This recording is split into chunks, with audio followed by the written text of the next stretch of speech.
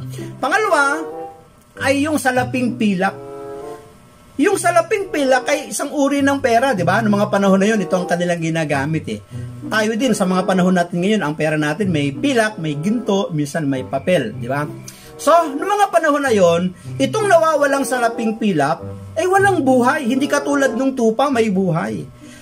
Itong pagkawala ng salaping pilak na ito, pwedeng may nakialam o kumuha, may gumalaw doon sa pagkakahawak ng isang babae sapagkat alam naman natin na hindi naman to nilalapag-lapag lang kung saan. Meron silang mga bag or mga supot na lalagyan, di ba?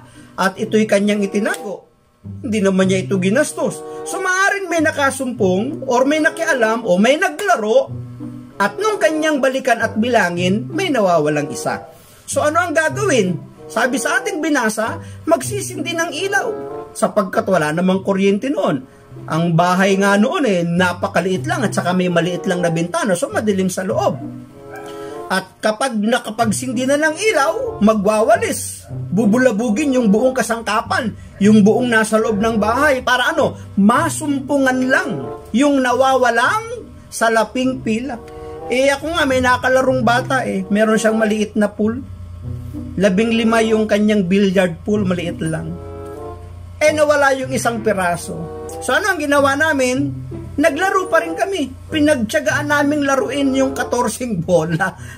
Pag may nahulog na isa na, ito na ibabalik katumbas ng nawawalang isang bola. Nakapaglaro pa din naman kami kaya lang hindi masaya yung aming laro. Bakit? Kulang ng isang bola.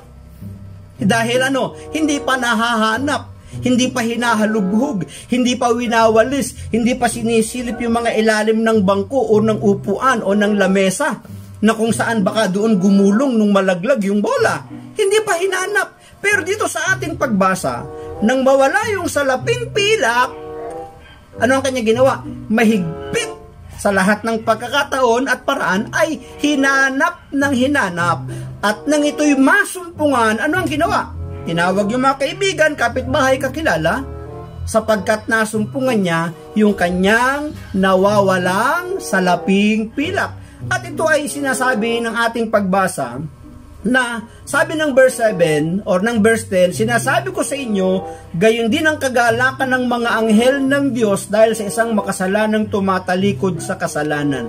Yun hong salaping pilak ay kumakatawan muli sa isang taong makasalanan na nasumpungan na nagbalik loob sa Diyos at ang sabi ng ating binasa, ang mga anghel ay magsasaya, magkakaroon ng malaking kagalakan sapagkat may isang makasalanang muling nagbalik loob sa ating Panginoon.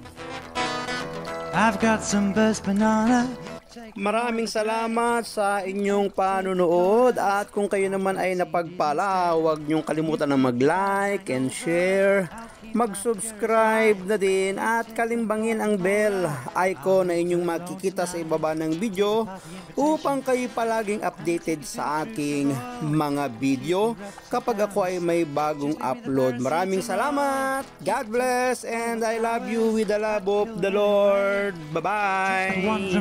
In case he passes by this way. And can you pass this on to Minnie so she knows where we're at? And you better send me your address so that I can send